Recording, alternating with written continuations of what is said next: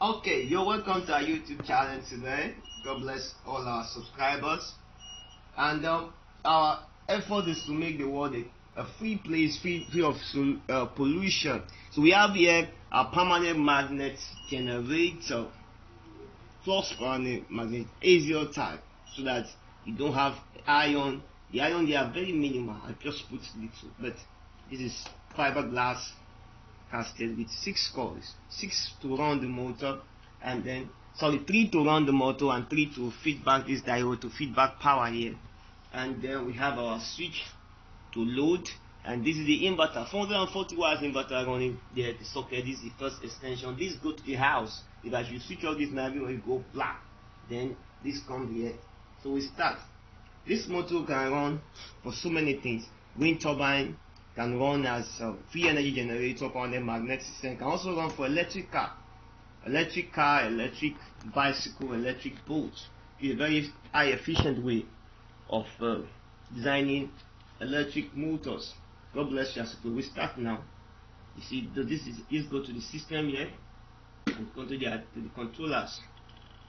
So we're not running, we're running it on the AC, high voltage DC mode start gradually. Start gradually. Start gradually. There it goes. Goes goes goes goes. And then you can reduce the speed go back take the potentiometer back reduce the speed.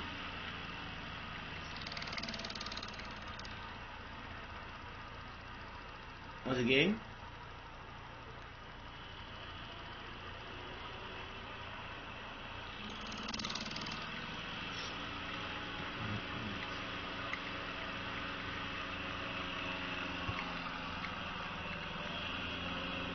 this controls the speed.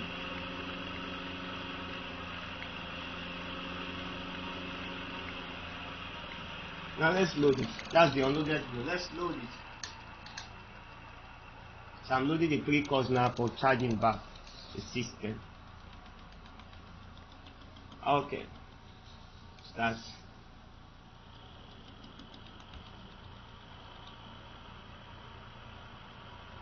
To take more power from the battery but then it takes supply back again.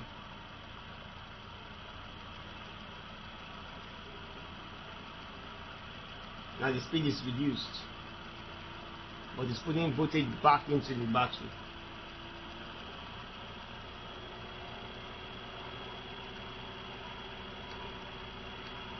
So this is acting as a motor and a charger back.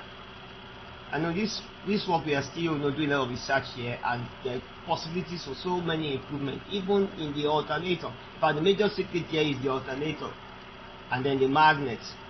So possibly in our next video you see more improvement on the alternator, the way it is being switched.